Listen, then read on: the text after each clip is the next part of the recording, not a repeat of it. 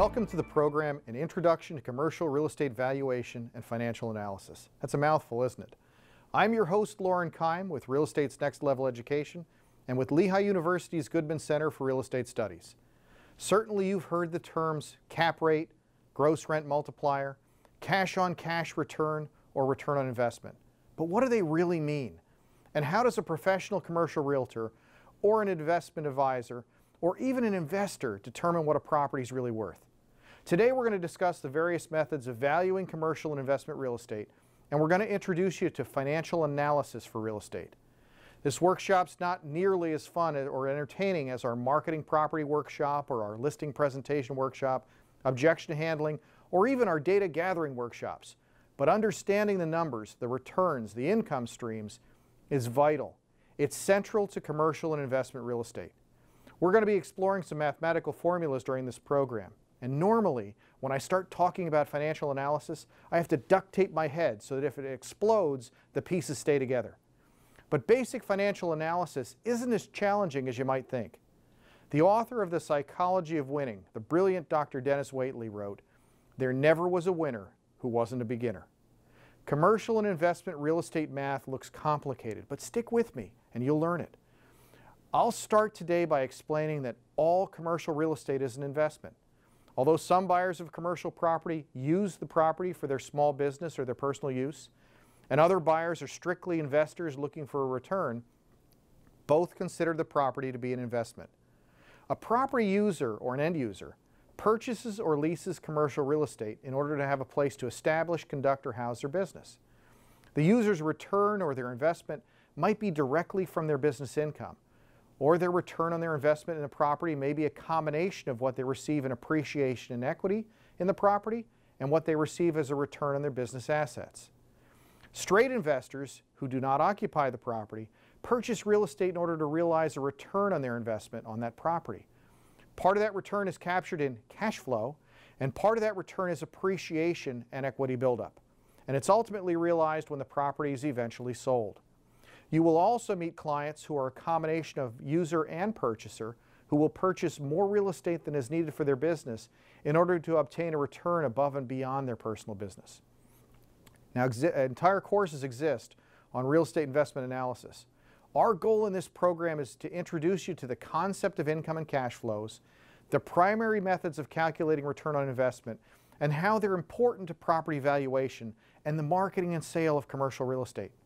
We're going to outline the various forms of calculating returns on investment and the resultant property valuation based on those rates of return. But an in-depth analysis of income projection will be in our advanced training program.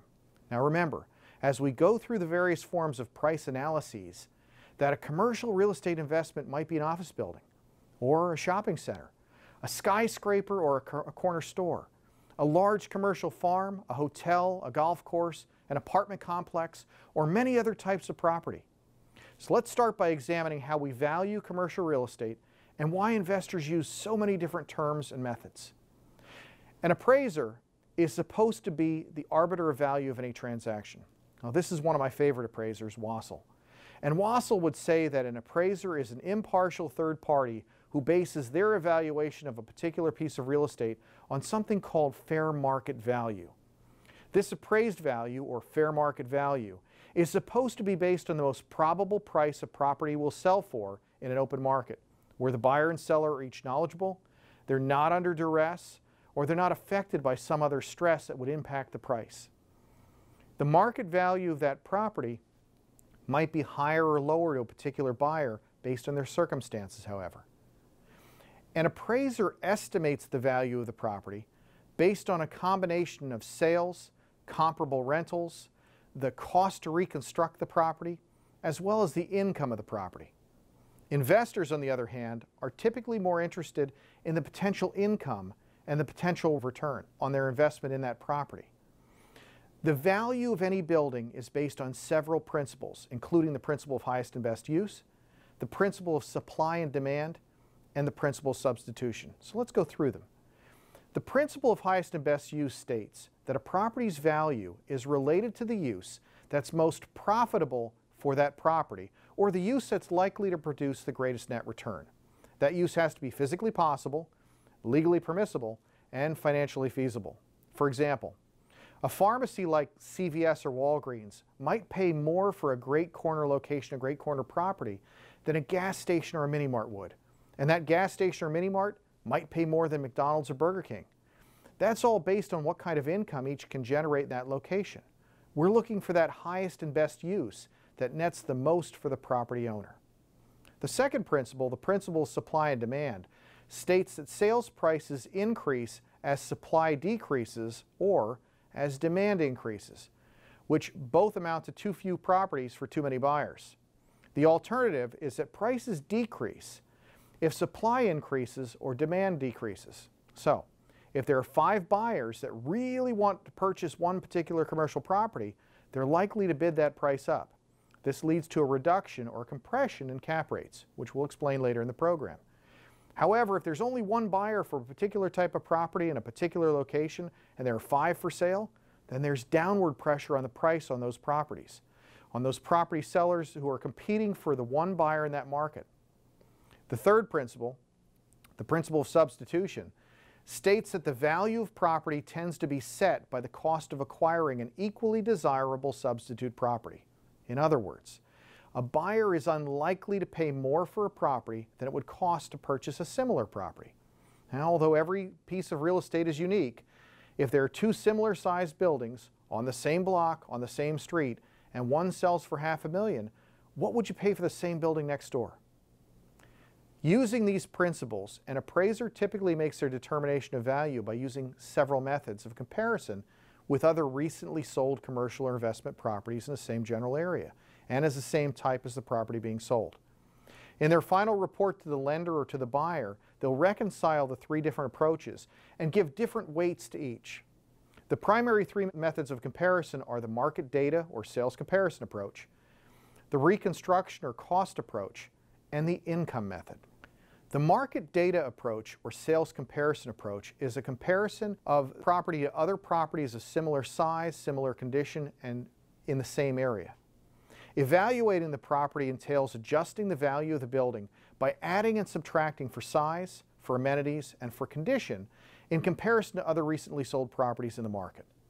Some investors use a market data approach by trying to evaluate a property by comparing a price per square foot of an office building or retail space or a price per unit for multifamily properties, or maybe a price per room for hotels and hospitality properties. If downtown building, if a downtown building in Las Cruces, New Mexico is selling for about $100 a square foot, then it's likely that the building you're trying to evaluate the same area will be close to that range. This only works if you compare apples to apples. If you're a residential agent and someone asks you for a price per square foot for a new four bedroom, two and a half bath colonial, you might be able to give a range, right? But the actual price per square foot is based on the quality of construction, the builder, and the neighborhood. If you're evaluating office buildings, for example, you only compare with other buildings in the same area and the same condition, Class A or Class B.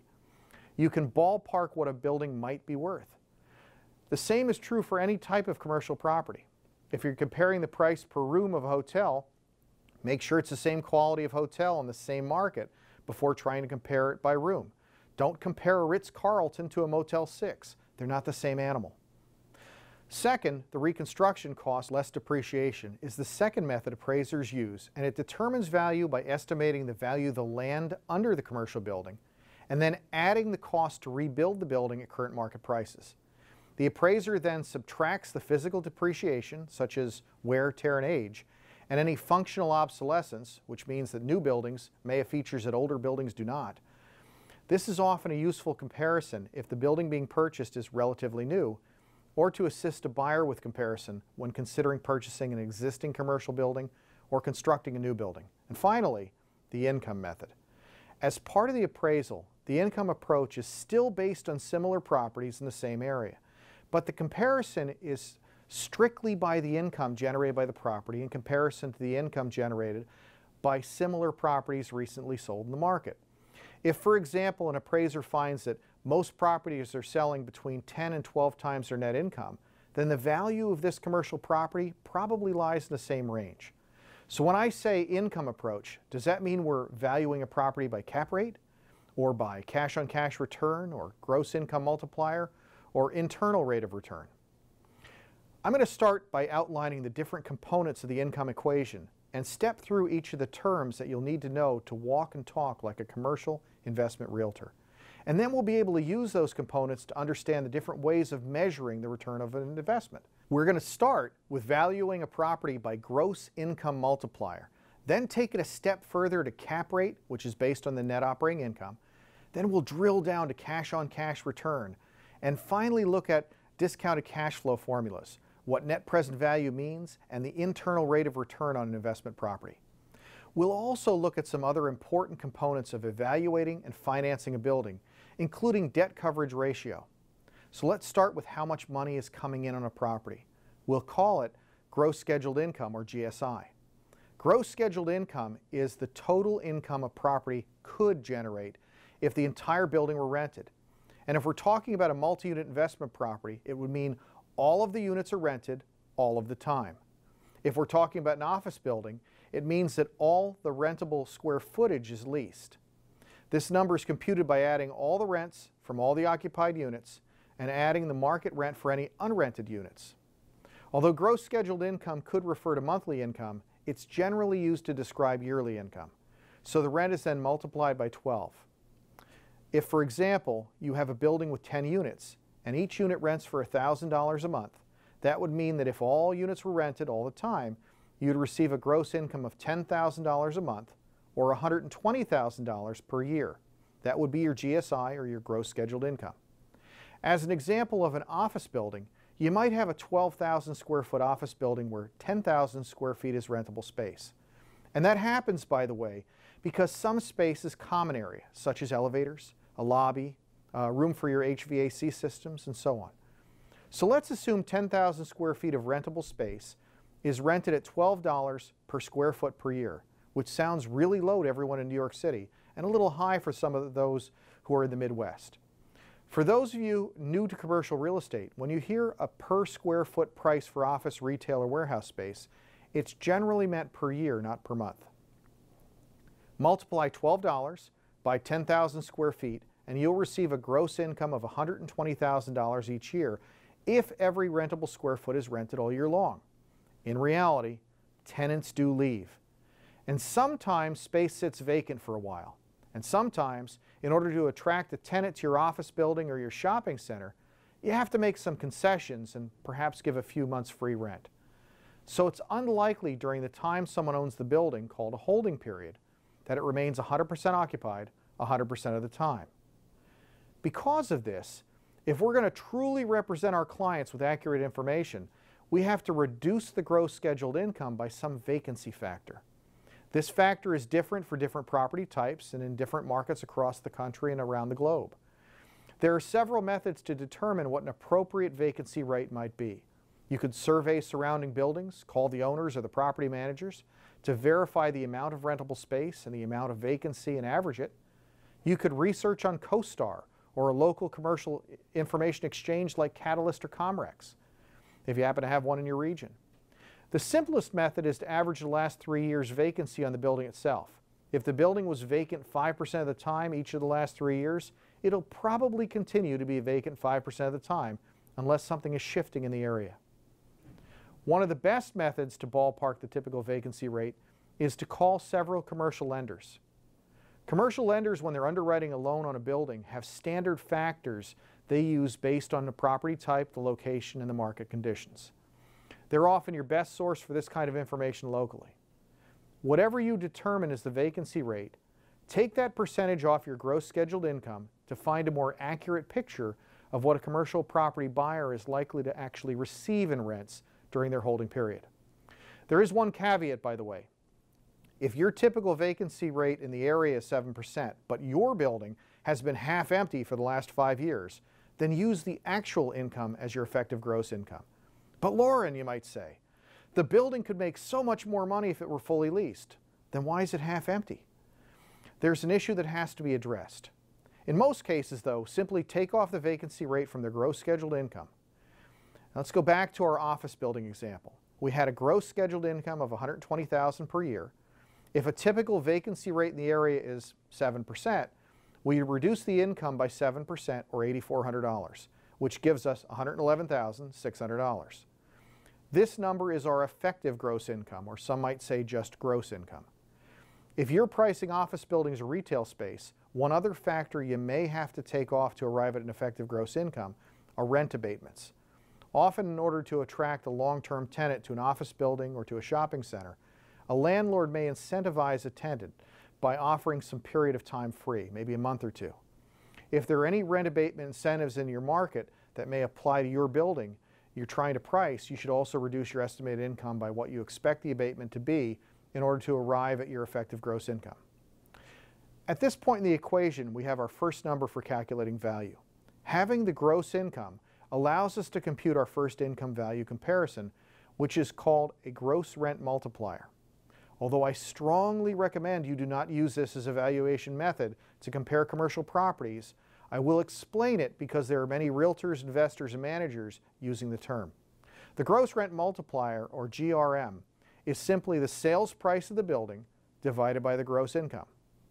For example, if you're trying to price an apartment complex and you found three other apartment complexes that have sold recently, and you know the gross income of each complex, you can compute a rough gross rent multiplier for the area and you can use that to ballpark the value of the building you're trying to price. Let's do a quick example. In our research, we identify three comparable apartment complexes that have sold recently. The first complex is 30 units, and it's got a gross income of $360,000 a year, and it just sold for 3.672 million. Again, to get the gross rent multiplier, we divide the price by the effective gross rent. Dividing 3.672 million by 360,000 gives us a gross rent multiplier of 10.2. The second complex is 25 units and it's sold for 2.499 million with a gross yearly income of 255,000. If you divide 2.499 million by 255,000, we get a GRM of 9.8. Finally, the third building sells for 6.1425 million. It's 50 units and carries a gross yearly income of 585,000. That gives us a GRM of 10.5. If we average these three comps, our gross rent multiplier is 10.17. So how does that help us value the property we're trying to price? If we know the gross income of a building we're trying to price, and we know a range of GRMs, we can do simple division and get a range. If the income of our building is 400,000 and the range of gross rent multipliers on comparable buildings is 9.8 to 10.5, we have a value range of 3.92 million to 4.2 million. Based on the average gross rent multiplier, which happens to be 10.17, the value would likely be 4.068 million. This is an easy calculation and only requires a realtor or an investor to know the gross rental income and the sales or list prices. But I hesitate to use it because it's often incorrect. The issue is that an investor is looking for a true return on their investment, and gross rent multipliers calculated before any expenses are taken off the building. Expenses can vary dramatically from building to building, which affects your bottom line numbers. So I really don't like using GRM. So what's the next level of the equation? Taking off the operating expenses the property owner pays to manage and maintain the building can get us closer to an actual return. So what are operating expenses? Operating expenses are those expenses that must be paid by the owner to operate and maintain the property. Operating expenses include property taxes, property insurance, uh, utilities paid by the owner, maintenance and management fees. These expenses do not include the principal and interest of the mortgage payment. These expenses also do not include any tenant paid expenses, simply because they're not paid by the owner. In the example of a six unit office building, if the electric is separated to the individual units and the tenants are paying for that electric usage, that utility cost is not part of the operating expenses. However, if there's a common hallway, common bathrooms, and an elevator, the owner or landlord should have a separate electric meter, and those electric utility costs are part of the operating expense. When selling retail or office properties, tenants often pay something called Common Area Maintenance Fees, or CAM fees, which help to cover the expenses paid by the owner of the property. If these expenses are reimbursed by the tenants as CAM fees, they're either not part of the operating expenses or the CAM fees are added back into the scheduled gross income. But we'll discuss that in more detail in our advanced program. Operating expenses must be accurately determined or estimated in order to accurately price a property for a seller or to assist a buyer in determining the property's real investment return. These expenses fall into two categories, fixed expenses and variable expenses, and it's important that you know the distinctions between them. Fixed expenses are those expenses that do not change regardless of whether or not the property is occupied. Property taxes and property insurance are considered fixed expenses. These are expenses that may fluctuate from year to year, but generally they remain stable for the entire year. And the owner will pay those expenses whether or not there's a single tenant in the building. Other expenses that may be fixed are snow removal, lawn care, security, and pest control. Variable expenses are any expenses paid by the owner or landlord that will increase or decrease depending on the occupancy of the property. Typically, these expenses also fluctuate from month to month. Utility expenses such as electric, heat, gas, water, and sewer are all typically variable expenses. If someone occupies a unit, they're far more likely to turn up the heat or flush the toilet. Contracted services such as property management and cleaning may also be variable expenses. And garbage may be a fixed or may be a variable expense, depending on whether it's municipal or contracted garbage. There is a third type of expense called a reserve. At some point in time, the roof will have to be replaced. The parking lot has to be repaved, and the central air unit has to be replaced, and the bathrooms really need to be updated in the property. In order to fully account for any expenses that will be incurred in the future, a reserve fund should be set up by the owner or the landlord. As you're calculating the cost of operating the property, a yearly reserve toward maintenance, repairs, and updates should be included as part of the expenses.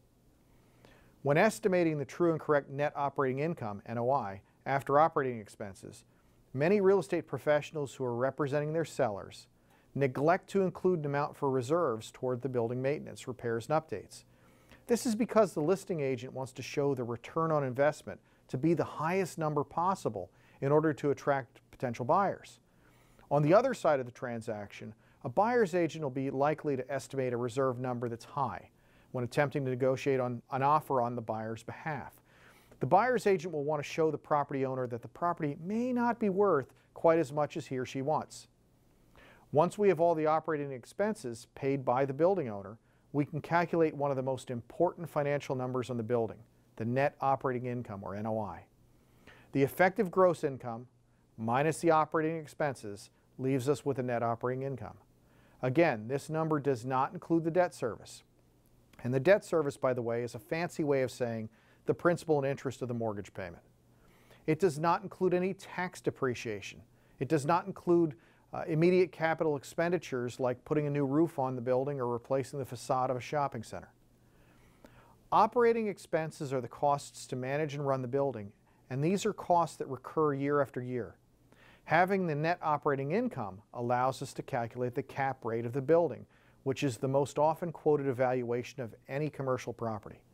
The cap rate or capitalization rate is a simple formula used by commercial real estate agents to obtain a rate of return on the buyer's money if the buyer were paying all cash for the property. It's a simple calculation of the net income of the property divided by the sales price. If we want to determine what price to pay for a building, we have to look again at competing buildings that have sold recently. What was their net operating income? What was the sales price? Divide that net operating income or NOI by the sales price and you've got a cap rate. So let's work through another example.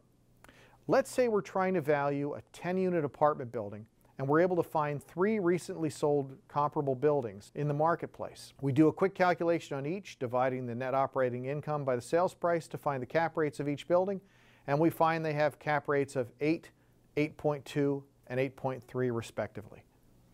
Our subject property that we're trying to price contains 10 units. Each unit is rented at $1,000 a month, so our scheduled gross income is $10,000 a month or $120,000 a year.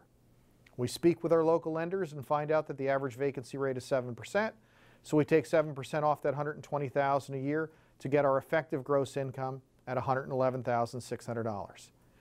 The current owner shows total operating expenses at $24,300 per year, which leaves our net operating income at $87,300.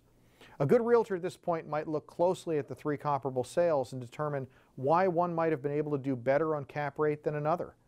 And remember that price and cap rates are inversely related. The lower the cap rate, the higher the property value. But we've got a tight range here of 8 to 8.3% cap rates.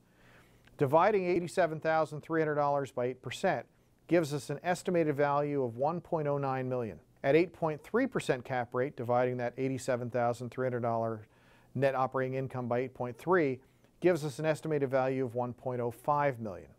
So we have a rough range of values. Sometimes there's an outlier in the list of comps we use. That happens when a property is a distress sale, like a foreclosure or a short sale, or someone who needs to sell to meet a deadline. Or sometimes a building needs a lot of work, or maybe it's sold to a relative. Or maybe the building is sold to someone who really needs that particular building for some reason and is willing to pay a premium for it. If there is an outlier, you have to make a few calls to understand the situation, or you might just want to leave it out of your analysis. So we know what a cap rate is, the net operating income divided by the sales price, but what does that really mean? In college, you might have learned the IRV formula, the IRV formula. It means that income equals the rate of return on an investment, R, times the value of the investment. Income equals rate times value. Moving the equation around with a tiny little bit of algebra, that also means that the rate of return you receive on an investment is equal to the income divided by the value or by the investment that you made.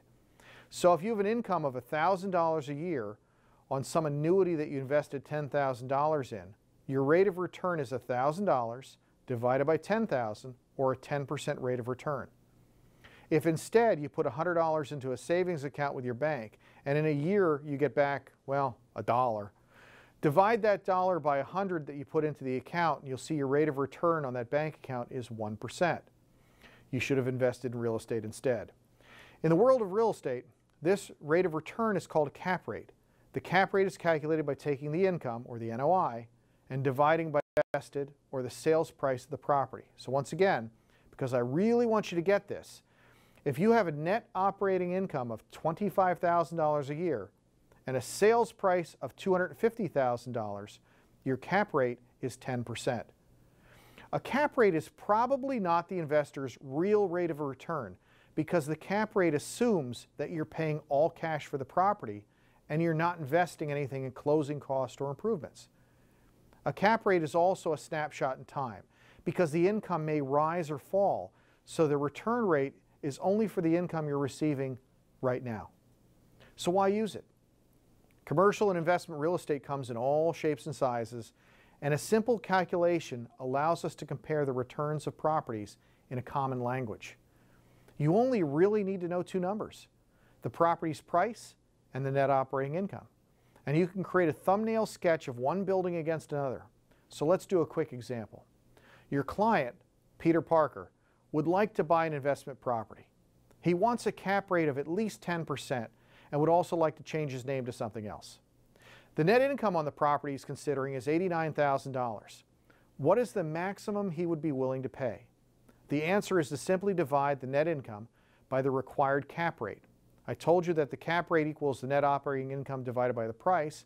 A little math, and you'll see that the price equals the net operating income divided by the required cap rate. So, $89,000 net operating income divided by a 10% cap rate gives us a maximum offering price of $890,000.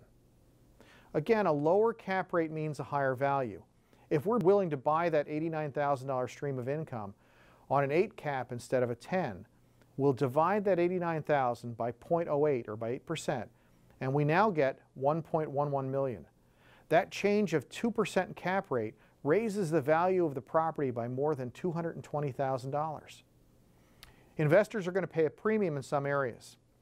New York City is an area where investors will pay a premium by purchasing at a lower cap rate. Think of it as risky investment versus non-risky investment. If you're investing in U.S. bonds, backed by the full faith of the U.S. government, they're supposed to be nearly risk-free, so you buy them at a very low return. If you invest in a country where there's a civil war going on, you might want a bit higher return for the risk you're taking with your investment capital. Buildings work the same way. If you're buying a building that's leased to CVS for the next 25 years, and that CVS is covering all expenses such as taxes, insurance, and maintenance, so you're effectively purchasing an income stream. You might be more willing to buy at a lower cap rate than if you're purchasing a strip mall built in the 1970s in a coal mining town where the stores may become vacant. You'll get a higher cap rate and thus a higher return because there's more risk. Obviously, buyers want a higher cap rate and sellers want a low cap rate. Now, we've compared properties by gross rent multiplier and by cap rate.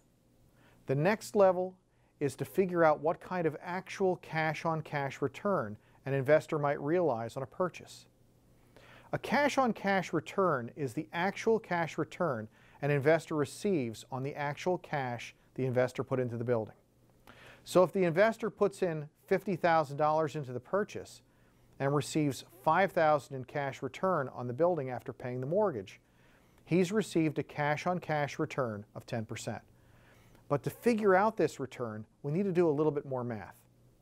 A cap rate is based on buying a building all cash and doesn't include closing costs. We need to figure out how much total cash an investor is putting into the property or an initial investment and how much cash that investor is taking out after the mortgage payment. The initial investment is generally just the down payment plus the buyer's closing costs or other acquisition costs, although it could include some property repairs and upgrades. It's the cash the buyer lays out when purchasing and taking possession of the property. A buyer may be putting down 20% on a $400,000 building, which is $80,000 and they may have an additional $20,000 for appraisal, attorney's fees, transfer taxes, and so on. If that buyer is not doing any repairs or upgrades, the initial investment is $100,000. The net cash flow then is simply the net operating income less the mortgage payment, again also known as the debt service. So let's go back through our formula. Gross scheduled income minus a vacancy factor and any rent abatements is the effective gross income. The effective gross income minus any owner expenses gives us a net operating income. And subtracting our debt service or our mortgage principal and interest from the net operating income gives us the net cash flow before taxes. In our example, let's set the price on this 10-unit building of 950,000.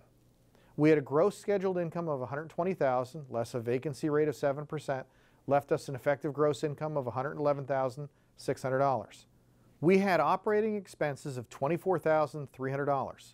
So our net operating income is $87,300.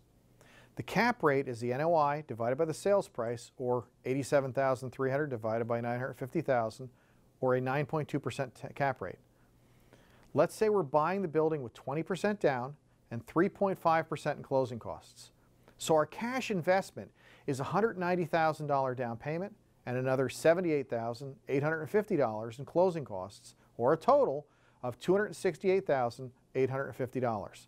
So our cash in is that $268,850. To get our cash out, we have to subtract our mortgage principal and interest, our debt service, from the net operating income. Our debt service is the sum of 12 mortgage payments of $5,015.66 per payment which is borrowing 80% of our purchase price at 5% interest for 20 years. And that number is $60,187.92. So, subtracting the debt service from our $87,300 net operating income leaves us with a net cash flow of, drumroll please, just over $27,000. Divide our cash flow out by the cash we invested, or divide that $27,112 by 268,850 and we get a cash on cash return of 10.1%, which you'll notice is actually higher than our cap rate of 9.2%. So by borrowing money, we're actually making a better return on our money and we don't have to put up the entire $950,000 in cash. So if you've got a million dollars laying around, rather than buy just this one building with a return of just over 9% based on the cap rate, you can buy maybe four buildings with the same cash outlay and maybe get better than 10% return by making money on borrowed money. That's one of the beauties of real estate investment, and it's called leverage. You're now staring blankly at the screen and deciding whether or not you want to go back to selling residential real estate Or maybe you want to go replay my program on marketing commercial real estate and have some fun instead of listening to all this math, aren't you? Don't worry, it'll get a little easier with practice. So let's go a step further. That was the cash flow before income taxes. We call that the CFBT, or cash flow before taxes. You may have a tax liability, or you may receive a tax benefit each year from owning real estate. In order to determine the tax ramifications in the example we're working with, we have to go back to the net operating income before we took off the debt service. We have to start with that NOI instead of the net cash flow because the principal portion of the mortgage payment is not tax deductible. So we have an NOI of $87,300. We can deduct the interest portion of our debt service and we can also deduct depreciation.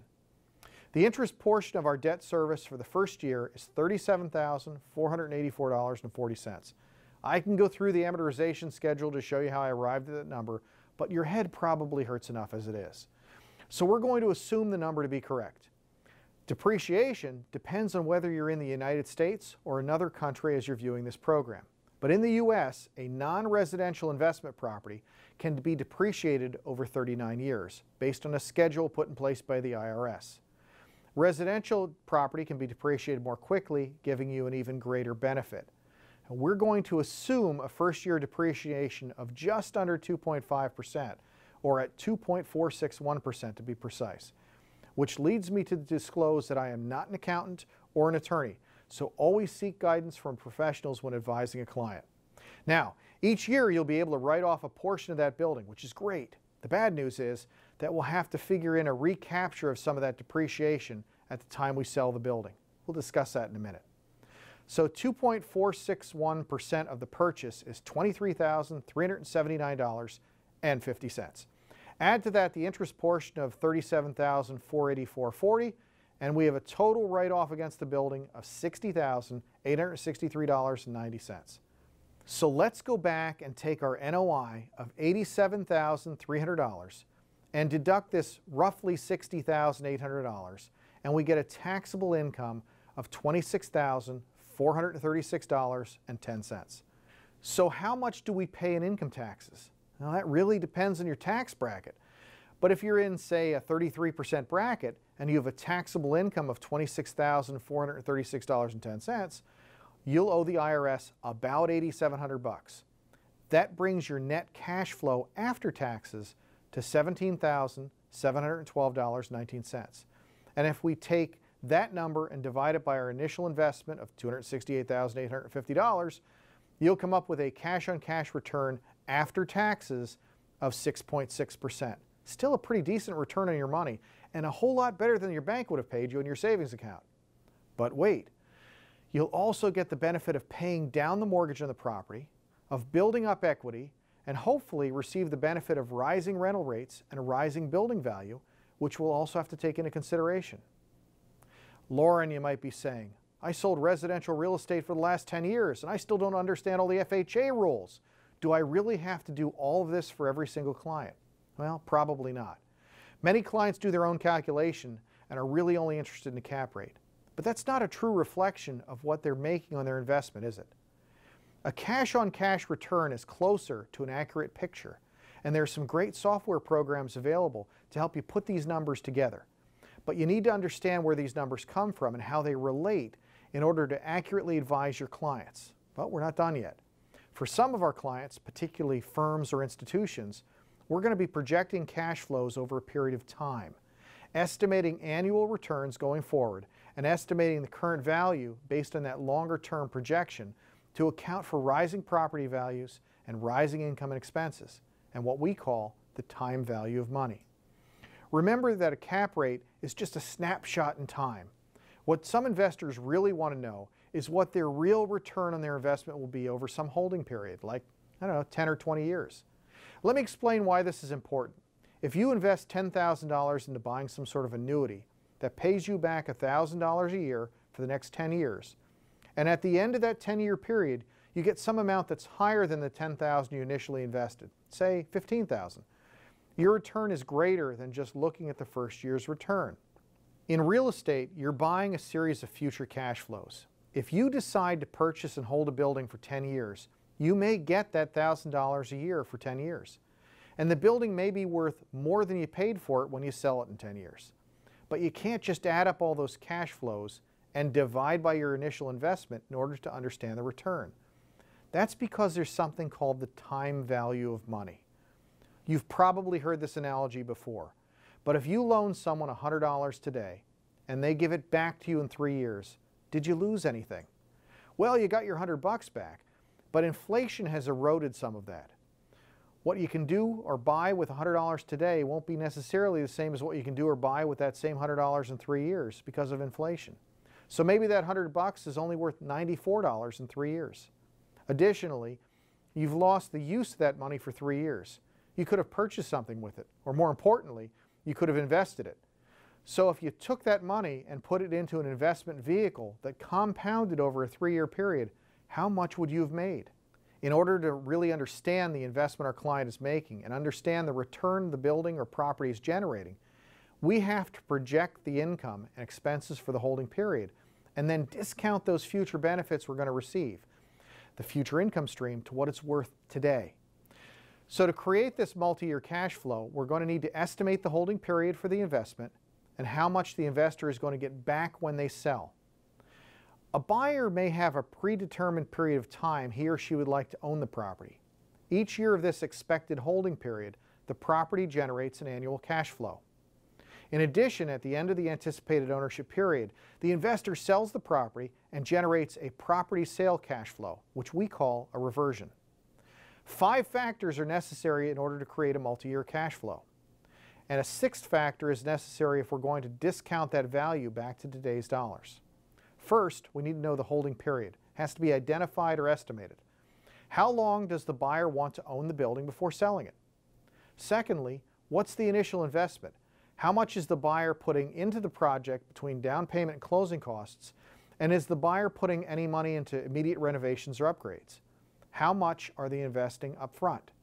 Third, we need to calculate the annual cash flow for the current year. How much is the building earning right now? Fourth, we need to estimate the rate of change of the income of the property and of the expenses. Will they grow at the inflation rate? Will income and expenses grow at the same rate? We're going to have to take an educated guess here. And fifth, we need to estimate what the property will sell for at the end of the holding period so we can calculate the sales proceeds to figure into our total cash flow. And I'll show you how to do that. And sixth, finally, if we're not just evaluating the income stream and the growth in equity, but would also like to figure out what that value to us is today for the income stream, we need to decide what discount rate to use. In other words, what rate should we use to discount our cash flows back to the present day? Remember that time value of money. A dollar received in 10 years is not as valuable to us as a dollar received today. Once we discount all the cash flows back, we come up with one number that's our value to a client today, and we call that the net present value. And that allows us to calculate something called an internal rate of return. So let's go back to our example of a purchase at 950,000 and start building a multi-year cash flow. We already calculated the first year's income. We had an initial investment of $268,850. And you'll notice I've added a column for year zero to reflect that we had a negative cash flow for that amount. Because we've invested that amount into the project, we put cash in. Our first year starts with a gross income of 120,000, which generates a net operating income of $87,300 after operating expenses, and a net cash flow after debt service but before taxes of just over $27,000. So how do we project that forward? Unfortunately, there's no crystal ball that will tell you exactly what's going to happen in any particular type of property in any particular marketplace. You'll have to judge the likelihood of potential increases or decreases. If we want realistic numbers, maybe we want to ask ourselves, are the rents currently at market rent, or are they low or high for the market? Do you expect market rents to remain stable in the future? As an example, we were recently showing a building to an investor that had a really good cap rate. It's a net lease to Rite Aid, where Rite Aid, as a single tenant, pays all expenses, including taxes and insurance on the property. But their rental rate per square foot is about 50% higher than the market rent because rates in the neighborhood have declined. Worse, the footprint is of an older pharmacy and newer Rite Aids need more space. So when the lease expires in three years, I think they're very likely to move, which means the owner of the property will likely be renting the property at much lower rate than it is today. You have to take that into consideration when projecting income. Are there any pending changes in zoning or employment locally that may affect market rents? Are competing properties in better condition or worse condition than the subject? Will the condition impact the rental of any vacant units? Does the subject need significant repairs which will impact the rents going forward? Are there any major changes occurring in the neighborhood which could affect the property's rental value or desirability? Are there any tax changes or significant utility changes expected that would affect the income stream for the property? Once you have an understanding of the marketplace and the potential changes, you can begin to estimate the future income and expenses. Again, although there are brilliant statisticians in the world who make predictions regularly, there's no magic to estimating future income and expenses. You'll need to determine a realistic growth factor or appreciation for the income and expenses or decline if you believe there's going to be a decrease. Another method to estimate an acceptable appreciation factor is to determine the increase in income and expenses over the prior three to five years and average those increases to find an appreciation factor. That doesn't always work because there are ups and downs in the commercial real estate rental cycle. A deeper analysis of the market might be found by contacting local economic development organizations and appraisers to obtain their view of likely increases in market rents and expenses. In this example, I'm simply plugging in an inflation factor of 2.5%, assuming both the income and expenses of the building will rise at 2.5% per year, which I don't believe is unrealistic in most markets.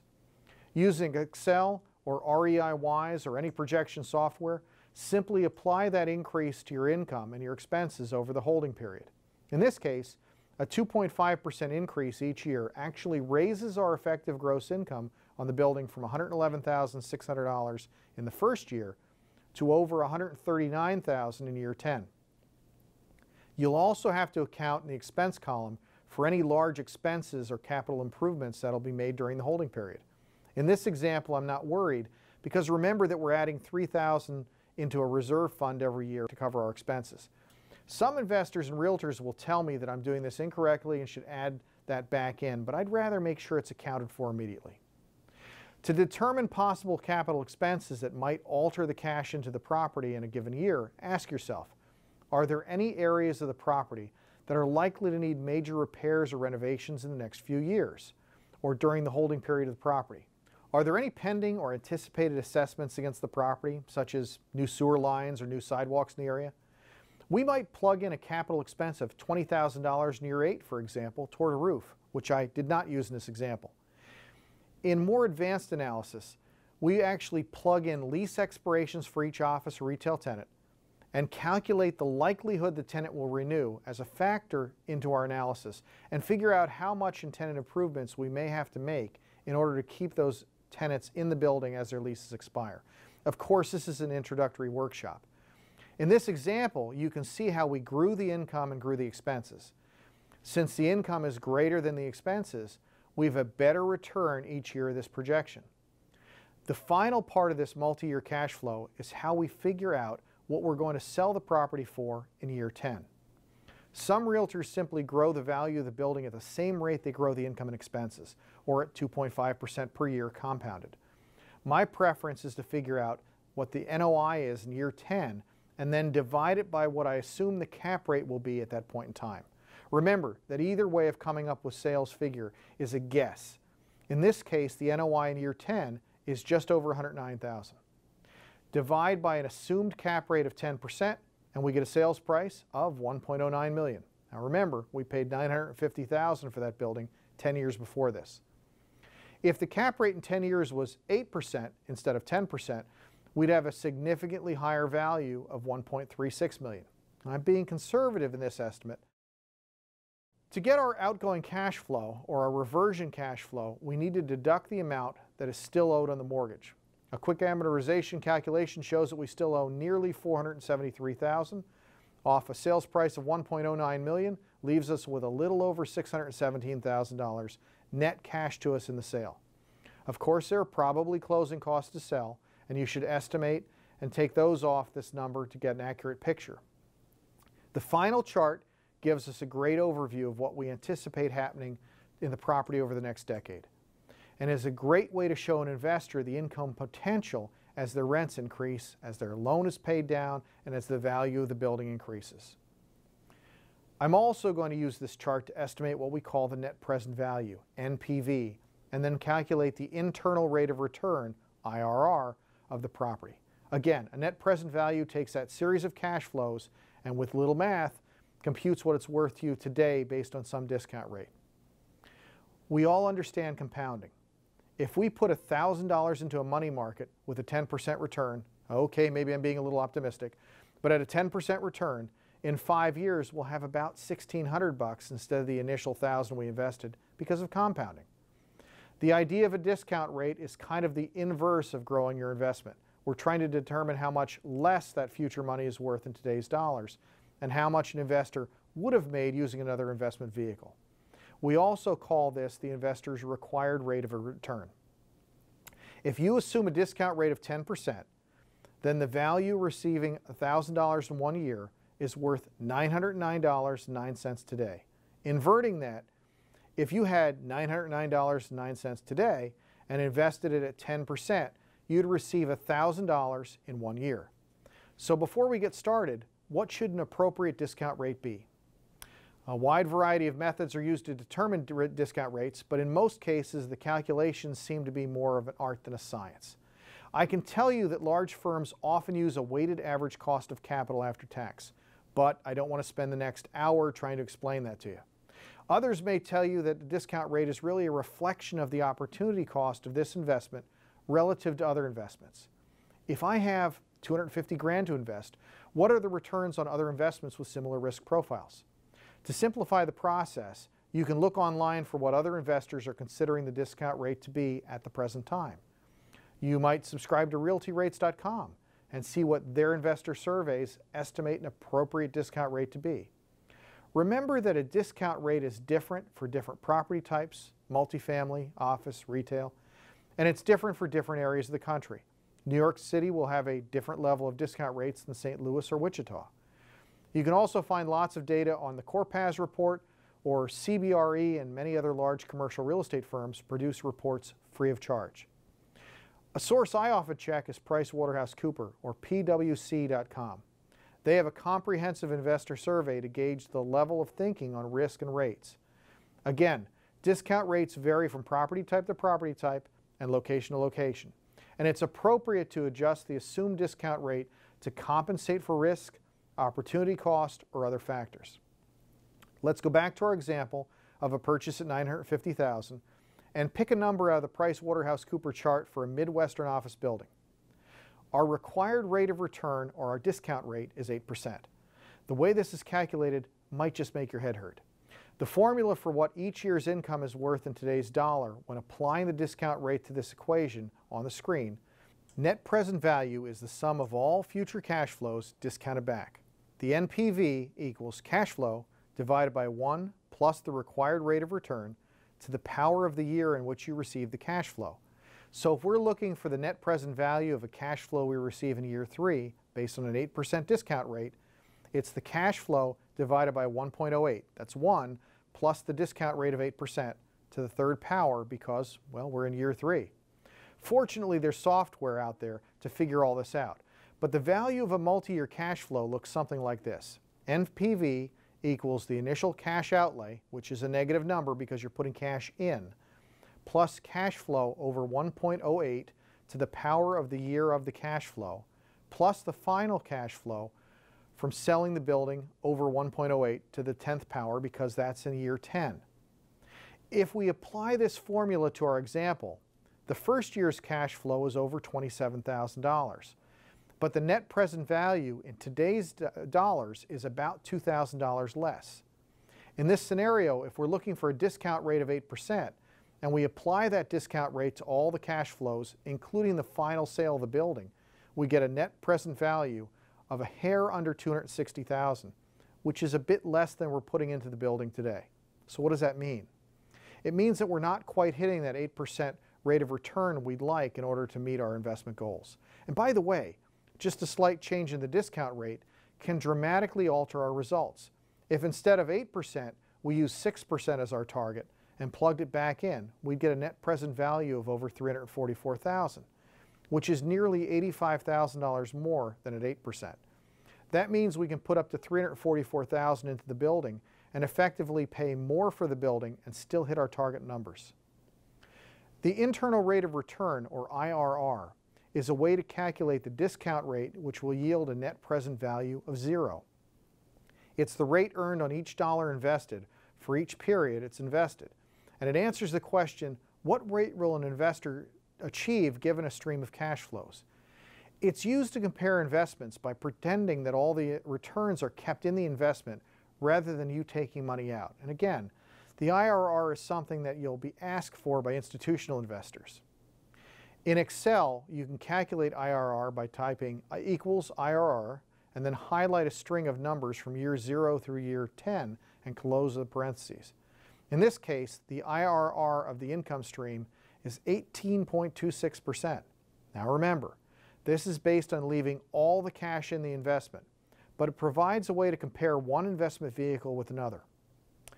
Building a full cash flow model and calculating an internal rate of return is called a discounted cash flow analysis, or a DCF. When you're attending conventions and somebody is asking about one of your listings and wants to know if you did a DCF on it, that's what they're talking about. Also, there's one other reason to consider an internal rate of return in lieu of using a simple cap rate. It helps us to answer the question as to why some investors buy properties at break even or sometimes even at a loss. Why purchase real estate at a 1% return when you can do better purchasing bonds and you don't have all the risk. They're easier to sell if you need cash out. It's because some investors look for properties that have a very strong growth rate. If the investor feels that, although they're buying at a very low cap rate today, they can attain a high IRR, they might be willing to buy for that future benefit. Back to our example. So this one building has a gross rent multiplier of 8.5. It has a cap rate of 9.19% and a cash on cash return of 10.08% and an internal rate of return of over 18%. Whew. I'm going to introduce one more method of calculating return, by the way. It's called debt coverage ratio or debt service coverage ratio. And we usually term it DCR. This is a term that's most often used by lenders or banks rather than by investors. But it's a calculation you need to be familiar with because it's a threshold you're likely to need to meet when putting together a commercial sale. The debt coverage ratio, DCR, is equal to the net operating income, NOI, divided by the debt service. If, for example, your investor's NOI on a building is $130,000 and his annual mortgage payments, his debt service, is $100,000, then 130,000 divided by 100,000 gives us a DCR of 1.3. That means the debt on the building is covered by $1.30 for every dollar of debt. What if you have 100,000 in net operating income and 100,000 in debt service? Well, you may have trouble talking your lender into doing the deal, but 100,000 over 100,000 equals 1. It's a 1 to 1 ratio, which is your break-even point or your BEP. Obviously, investors typically want to buy above break-even. Your bank or lender is going to set a DCR or a ratio based on the investor, on the type of property, and on the lender's perceived risk. A lender may require only a DCR of 1.1 or 10% greater NOI than the debt service, or they may require 1.2 or 1.4, depending on the risks. The lender wants to make sure the property can sustain its debt by itself, whether or not the buyer continues to own the property. In the case of our example, the NOI, or net operating income, is $87,300. Our debt service at 5% for 20 years is $60,000 $187.92 per year. So the debt coverage ratio is 87.3 divided by 60,187, which comes to a DCR of 1.45 or 1.45 to 1. That's a strong ratio and will probably be accepted by virtually any lender. But let's say the income was only 70,000 with a debt service of 60,000. Our DCR would be 70,000 divided by 60,000 or 1.16. If a lender requires a DCR of 1.25, even if our investor is fine with the return on this investment because he or she anticipates a strong growth rate, the lender won't lend the money. The buyer has only two choices. He can either increase his equity position in the property by putting more money down and borrowing less, which will raise the debt coverage ratio, or he can try to buy at a lower price to where the DCR is in line with the bank's requirements. one other possibility is to shop other lenders and find one with reduced requirements. There is variability between lenders in these ratios. Now that you understand the basics of how to do these calculations, what software should you use to do all the math? Well, I have a few friends who actually use HP calculators and do all this by hand, but I really wouldn't recommend that. And you can build your own models in Microsoft Excel. Many of the best off-the-shelf investment analysis programs are actually templates based in Excel. And Excel has powerful features built into it like internal rate of return, net present value calculations, and other metrics. And the examples we've done for you in this workshop were simply Excel calculations. You just organize a spreadsheet into income, expenses, and returns and build a model. In fact, in some of the advanced programs you're going to see through Century 21, there is an Excel model from the CCIM Institute called an APOD, or Annual Property Operating Data Form. But as you become more successful in commercial real estate, you'll want to use a more complex software program. I'm going to recommend a product that's pretty affordable called RealNex, formerly called REI Wise. And by the way, Century 21 has an unbelievable deal on this software. You can subscribe to it for less through Century 21 than any competing brand. RealNex is a web-based investment analysis software for projecting income and value. The package includes comprehensive tools for lease analysis, uh, resale valuation, cash flow, and a full range of sensitivity analysis tools, and produces some great client reports. No, I do not get paid for them, although I am willing to be bribed.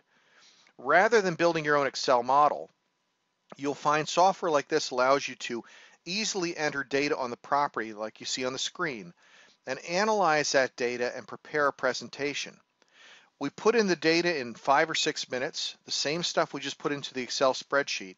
And this slide shows income projections and follows the same cash flow formula, the gross scheduled income or potential gross income, reduced by a vacancy rent or rate, rent abatements and other factors. And next it accounts for the total operating expenses, splits out the net operating income, and then accounts for the loan payment and capital expenses in order to determine a net cash flow and cash on cash return. This is all done automatically. The software has a variety of projections, and you can even analyze the price of the property based on a variety of different variables. You can do a sensitivity analysis as to how uh, a different vacancy rate or expense projection might affect or change your bottom line. And you can use this software to build some beautiful reports, either for a listing presentation or for an investor package. Certainly shop all the software packages available and see what's right for you. But this is an excellent, excellent software package that I highly recommend.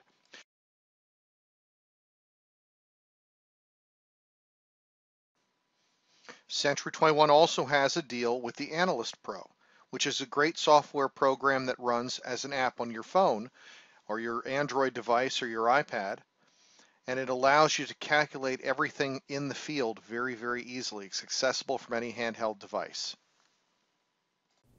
So before we end today, let's go back through the different forms of income evaluation. Gross rent multiplier, or GRM, is the price over the gross rental income, and it's primarily used by multifamily brokers and owners. We don't use it most office or retail properties because of the lease structures being far more complex the expenses are far more complex and it can be very inaccurate as a measure of value. Cap rate is the NOI over the price and is the most quoted rate of return. The benefits of using this form of evaluation is that it takes into account both income and expenses and it provides an easy way to compare building to building as if the buyer were purchasing them without a mortgage or without leverage. It's an apples to apples comparison of building returns after operating expenses. The only major shortcoming of this type of evaluation is it doesn't factor in the financing of the building. So it's not a real return that the investor is receiving when they purchase a building. Cash on cash return equals the yield, or the net cash flow after debt service, over the down payment plus closing costs, or the initial investment. Again, the yield equals the NOI minus the debt service. This is your real return before taxes and before depreciation. It's a great indicator of return when you're trying to figure out how much you would make on this investment versus putting something into the stock market or into bonds. A cash on cash return evaluation also allows you to test different amounts financed in order to figure out your best return with leverage. Your internal rate of return is your most complex method of evaluation. Every year you have a cash flow, and those cash flows need to be discounted back to today's dollars based on something called a discount rate. In order to compare one investment to another, we set the net present value to zero and run a calculation using Excel or Argus or REI Wise or some other software program. Remember that your first year has to include the outlay of cash to buy the building, and the last year has to include your net proceeds after you pay off the mortgage. To make this work, you have to accurately predict the property's value at that point. You have to accurately predict the amount you still owe on the building and the cost of sale of the building. You also have to predict inflation of the income and expenses, and you have to predict capital expenditures. So if we expect that we have to renovate three commercial units in year five because tenants are leaving, we estimate the cost of those renovations. If we need to replace the roof in year six, we need to estimate the cost and deduct it from our analysis. When I'm at events, some agents tell me that they have never done an IRR calculation and they never will. That may be right, and that's perfectly fine. But my students in New York and Boston and Washington that work for big firms are required to do IRR calculations for their clients on a daily basis. It's used by institutional investors and developers. The downside of the estimate of the return is that you're assuming that the investor puts all their money back into the property or project, which is seldom true. But it does allow a comparison between various investment vehicles. The debt service ratio is a final analysis. Although this is more of a bank or a lender term, it allows us to know how much a lender will finance on a building. And it's critical because the lender will not go above a certain ratio. As a realtor or an investor, you need to understand where that number comes from in order to calculate what amount you need to invest in the property to make the DCR work. DCR again equals the net operating income divided by the debt service. I want to leave you with a few quick quotes. Wayne Gretzky said, You miss 100% of the shots you don't take. Don't let the numbers send you into paralysis of analysis. There are many very successful commercial realtors who don't actually know half of what we talked about today. Go take a shot. Christopher Reeves said, either you decide to stay in the shallow end of the pool or you go out in the ocean. So get out of your comfort zone. Stop hanging in the kiddie side of the pool. Get out there and try and list and sell commercial real estate. It's a big market with some big numbers. And finally, George Eliot said, it's never too late to be who you might have been. It's time to step up and be the person you've always wanted to be. Until next time, I'm Loren Keim, and you've been watching an introduction to commercial real estate valuation and financial analysis with a team at Real Estate's Next Level.